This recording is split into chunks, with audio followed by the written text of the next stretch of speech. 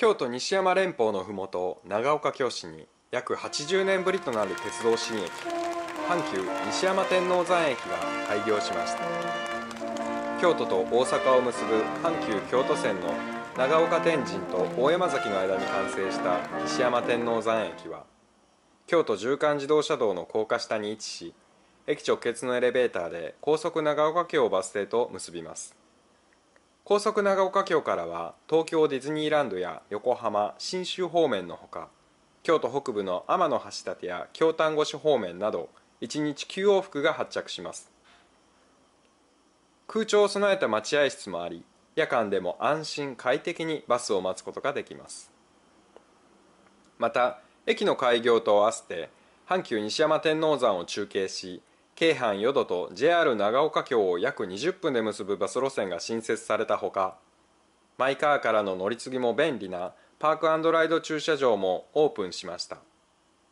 駅舎は格子状の窓が特徴的な和モダンをコンセプトとしエントランス部分に吹き抜けを作り明るく開放感のある空間を設けています。夜間には内部照明で天井を照らすとともに外部にも光があふれるよう工夫されています。また駅前広場の橋脚や駅構内には西山をイメージした壁面緑化が設置され周囲の景観との調和を演出しています。駅から歩いておよそ10分のところには工場見学が人気のサントリー京都ビール工場がさらに足を伸ばすと長岡京の発掘に生涯を捧げた故中山修一さんの記念館もあります。大阪京都の二大都市の中間に位置する優れた立地を背景に交通の利便性と自然が調和する住宅都市として発展を遂げてきた長岡京市。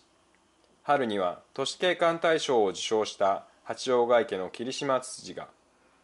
秋には青山浄土宗総本山光明寺の紅葉が見頃を迎えるなど四季折々にさまざまな表情を楽しむことができます。また毎年11月には後に細川ガラシャとして知られる明智光秀の娘玉が細川忠興の居城であった昇龍寺城に腰入れした史実にちなんだ長岡京ガラシャ祭りが開催され市の内外から多くの人々が訪れます。この阪急新駅西山天王山駅は長岡京市に乗りました実に80年ぶりの鉄道新駅であります。まあおかげをもちましてこうして開業することができました。多くの関係者の皆様方に改めて感謝を申し上げたいように思います。ありがとうございました。阪急西山天王山駅の開業によりますます便利になった長岡京市。京都へお越しの際にはぜひお立ち寄りください。